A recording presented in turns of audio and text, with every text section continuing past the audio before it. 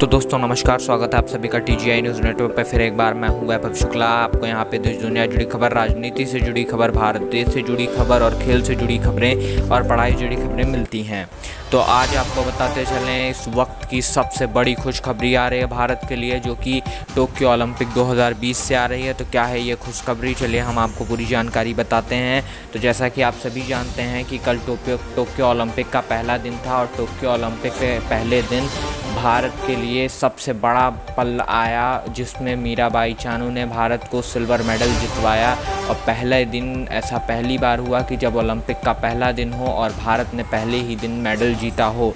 और फ़िलहाल आज दूसरे दिन एमसी मैरी कॉम ने भारत को एक बड़ी खुशखबरी दी है। जी हाँ एमसी मैरी कॉम ने मुक्केबाजी फ़ील्ड में अपने पहले मुकाबले में जीत के साथ आगाज़ किया है।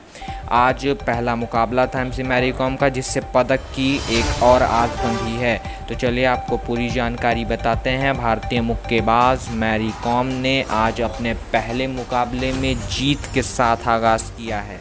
जी हाँ भारत के लिए ये बहुत बड़ा पल है और इसके साथ ही लग रहा है कि शायद जीत की एक उम्मीद भी है कि मेडल हमें मिल सकता है बॉक्सिंग में। भारत मैरी कॉम भारत की ओर से मुक्केबाजी में ओलंपिक के लिए, पदक के लिए सबसे मज़बूत दावेदारों में से एक हैं। तो क्या आपकी राय है?